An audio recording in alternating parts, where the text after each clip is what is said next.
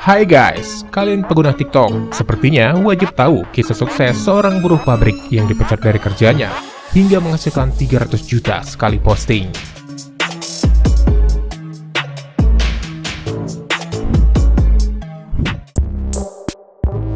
Kabilem adalah pembuat konten video TikTok berdarah Senegal Italia ia menjadi terkenal karena sandiwara komedi pendeknya, di mana dia menjadi sinis menunjuk orang-orang yang mempersulit tugas-tugas sederhana tanpa alasan sama sekali. Atau dengan kata lain, dia membalas video-video hack live yang tak masuk akal.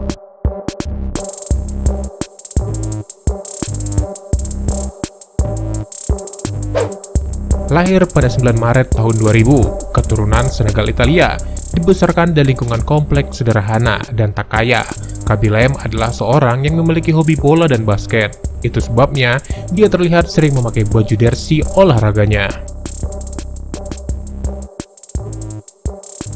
Kabilem adalah seorang yang lulus SMA dan bekerja menjadi buruh pabrik sebagai CNC atau operator mesin pabrik di Italia.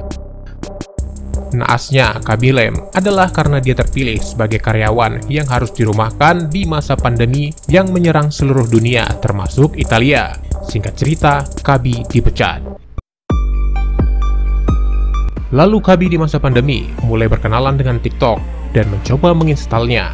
Dia memposting di TikTok pada Maret 2020 dan selama masa pandemi COVID-19 di Italia. Awalnya, Kabi bingung harus memposting video apa di TikTok.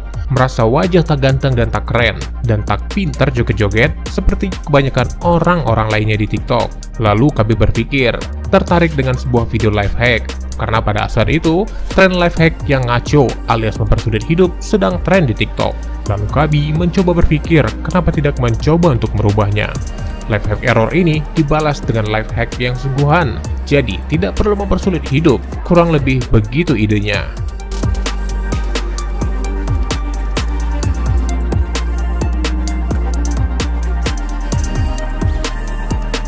Postingan pertama Kabi tidak langsung mendapat view bejibun.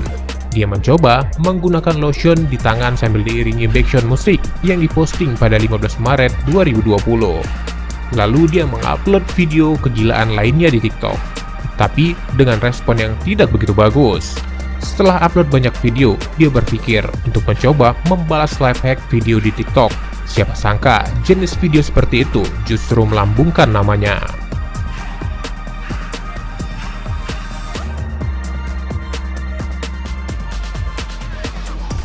Lewat video-video live hack miliknya dan memiliki wajah yang komedian, Kabilem semakin dikenal di dunia tiktokers Italia hingga mancanegara.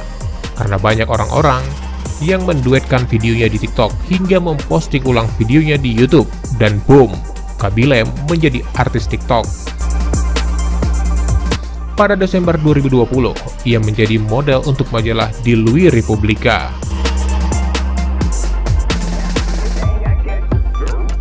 Dan pada 26 April 2021 ia menyalip Gianluca Facci sebagai tiktokers Italia dengan pengikut terbanyak. Kabilem saat ini memiliki lebih dari 100 juta pengikut di TikTok. Lalu, berapa kekayaan bersih Lem pada tahun 2021 ini? Kekayaan bersih Lem diperkirakan sebanyak 1 hingga 2 juta dolar Amerika Serikat atau setara sekitar 14,5 miliar atau sampai dengan 29 miliar seperti halnya YouTube dan Instagram, para pengguna TikTok juga bisa menghasilkan uang dengan monetasi konten TikTok. Menurut influencer dari Marketing Hub, begitu pengikut seseorang mencapai ribuan, akun TikTok bisa diproses untuk dimonetasi. Situs tersebut memperkirakan bahwa Lem dapat memperoleh antara 50.000 hingga 84.000 dolar Amerika Serikat per unggahan. Belum lagi, Kabilem memiliki 30 juta lebih followers di Instagram, yang tentu saja menjadi target bagi produk-produk dunia untuk mempromosikan produk mereka secara digital.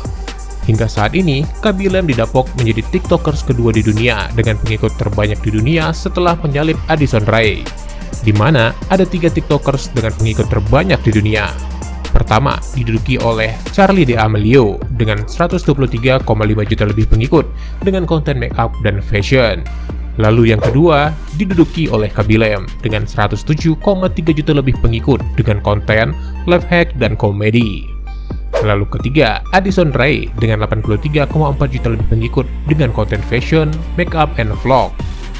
Dan yang terupdate lagi nih guys, dengan menjadi tiktokers kedua di dunia, Kabilen bisa mendapat bayaran sebesar 20 ribu dolar atau sekitar 300 jutaan sekali posting untuk produk-produk endorse di setiap postingannya. Dan boom, Kabilem meledak guys.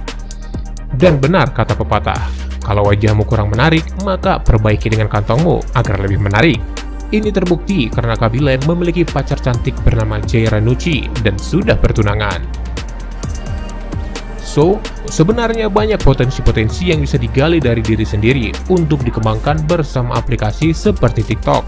Jadi, tidak harus konten joget-joget dulu, atau goyang-goyang pinggul, atau umbar-umbar dada. Mending besar, hmm, tanda dada. Semua tergantung kita menggunakan aplikasi seperti apa. Ternyata kalau konten lucu dan menghibur bisa menjadi sumber mata pencarian di era digital seperti sekarang.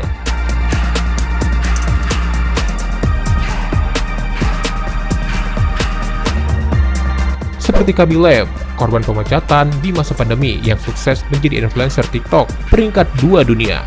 Bagaimana menurut kalian? Terima kasih sudah menonton. Jangan lupa like, share, and subscribe. Bye-bye.